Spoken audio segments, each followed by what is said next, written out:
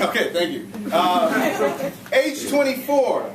I'm doing my first paying poetry gig, and by that I mean it's the first time I get a check, a type check with my name on it. The woman who introduces me went digging, tells the melting pot of suburban Chicago teens the Hindi word for Idris is fiery. I always thought it just came out of a book. My mother still has it, looks homemade, the cover crude and orange. African names.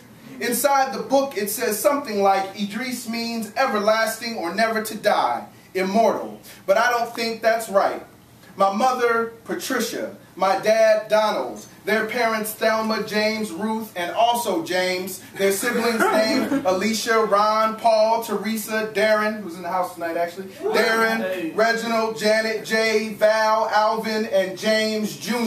They mm-hmm. wanted to break the chains. They were Afro-wearing 1960s black power children trying to make a statement through their offspring. Wanted, their, wanted us to have names with throat and vowels. In Detroit, they were a minority. Our black church asked, now, now why you gonna give that boy that African name? that, that Muslim name? Their names in the good book, strong apostle names names in the phone book. Strong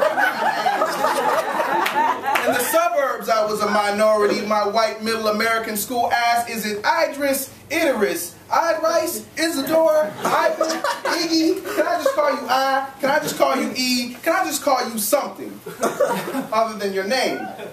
Age 11, I asked my mom, can I change it to something else? Tony, Mark, Sean, something else. Being named Idris in North America will arrest people. You must grow patience. What an interesting name. That's so unusual. Sounds Turkish. Sounds Greek. Are you Muslim?